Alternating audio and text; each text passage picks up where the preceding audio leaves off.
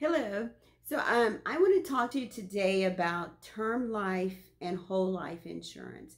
So I'm going to tell you guys the difference between the two um, and possibly who may benefit from getting a term policy and who might benefit from getting a whole life policy. So a lot of people gravi gravitate, I guess that's a word, gravitate to term policies because that's mainly the policy that you've heard about, but there's also a whole life policy. So let's talk about term real quick. So term is just as it sounds. A term policy is for a term period. It's either five years, 10 years, 15, 20, 25, 30. Um, those are usually the term years of the term policy. So let's say that you get a term policy and the term policy that you decided to get was a 15 year $100,000 face value policy. Okay, so at the end of 15 years, if you're still alive, then you're going to have to get another policy. So your benefits won't be paid out, right? Unless you get additional riders. And again, we'll talk about some riders a, a little bit later. But unless you get a rider attached to that policy or you get a, um, a renewable term or something like that, um, like guaranteed renewable um, rider added to your policy, then that policy you're going to be able to renew and it's not going to have um, an increase so let's say if you're uh, 40 years old and you decide to get a 15 year, $100,000 term policy. So when at 15 years, okay, when you turn 55, uh, your policy, you're still alive, right? Which would be really good. But if you're still alive, then your policy is going to have to renew, right? So, and then let's say take into consideration that there's going to be health, different health things going on from 40 to 55 because we all have these bodies that fail, unfortunately, and things happen along the years. So at the end of that term policy, and you're still alive, and you're 55 now, and you're not 40 anymore, different things are going on within your life, and I'm just being honest with you guys, then you're going to need a new policy, right? It's going to start over. You're going to need a new policy. You're going to need to get a, another 15-year policy, another 10-year policy, same amount, increase, decrease, whatever it is. And it's a possibility that this policy is going to require you either to do a medical exam or it's going to require you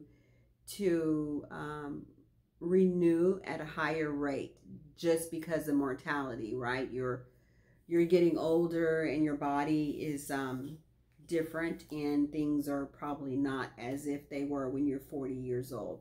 Okay, so that's a term policy. Basically, in a nutshell, you have this policy, you have this face amount, whether it's 50,000, whether it's 10,000 or 100,000 or whatever for a certain term. At the end of the term, you're going to need a new policy if you're still alive by that time, right?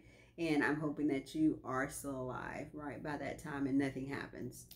So really quickly with the term policy, let's back up a little bit and say if you do pass away, then your family members, whoever's the beneficiary on your policy, is going to receive those benefits. And if it's $100,000, they're going to receive the benefits on your behalf, right? Which could change the trajectory of your family's life, right?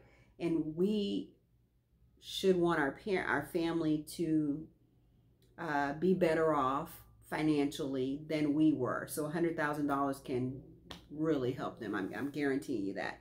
So let's look at the, the, uh, the whole life policy really quickly. So a whole life is just like it says, you have a whole and it's for your whole life until you die.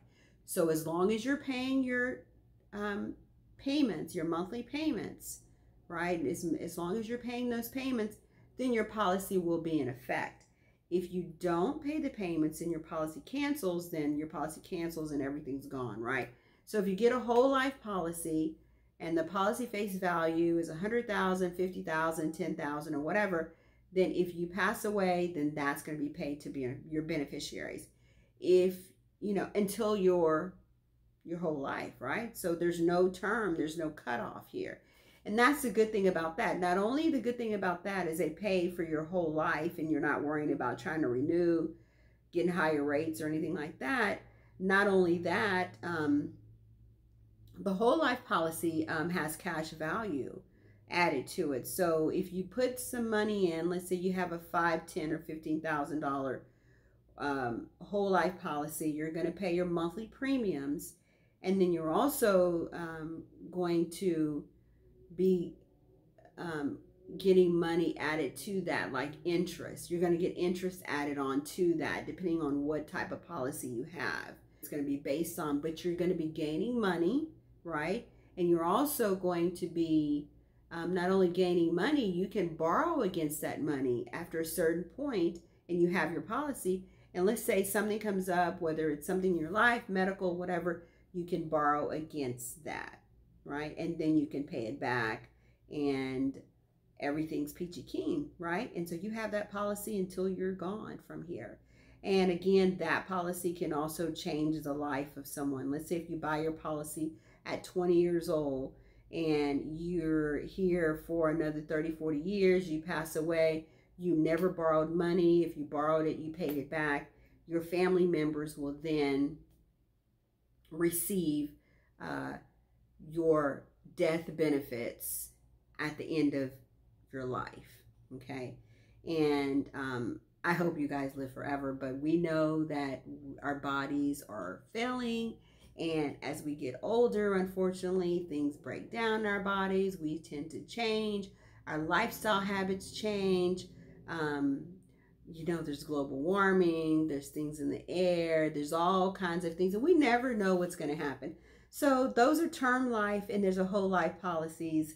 And that's hopefully you guys understood exactly what that was. I tried to kind of go slow and explain that to you a little bit. And hopefully you understood exactly what I was saying. But if you definitely have any questions, be sure to contact me. Um, my website is www.themotteagency.com. I would love to help you guys out. And I, I'm in the business to help people because we all need insurance. We don't like it. We don't like paying for insurance. But when something happens, you're going to be stuck paying a bill for burial, a bill for something else. So you want to make sure that you have your life situation together for your family, right? Because your family is going to be left behind and you're going to want them taken care of and you don't want them to struggle right? The struggle can end right there. That's breaking a generational curse. That struggle can be gone.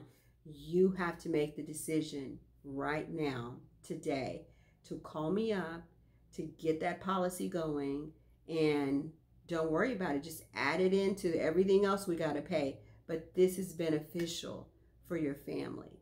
Think of it that way. Don't think of it as, oh my God, I'm going to pay this money out. We all got to pay the money out. But the fact is, we're all going to pass, we're all going to die, and something needs to be left behind to show you were here and you cared enough about your family to make that move, to make that step, okay? So um, if you have any questions, please don't hesitate to drop me a message on my Facebook or my Instagram. Everything is themotteagency.com. If you do hashtag themotteagency.com, we should come up, okay? So I love you guys. God bless you. Take care of yourself. Stay safe. Wear those masks. Wash those hands. Do everything is necessary to stay healthy, okay? God bless you, and I'll talk to you soon.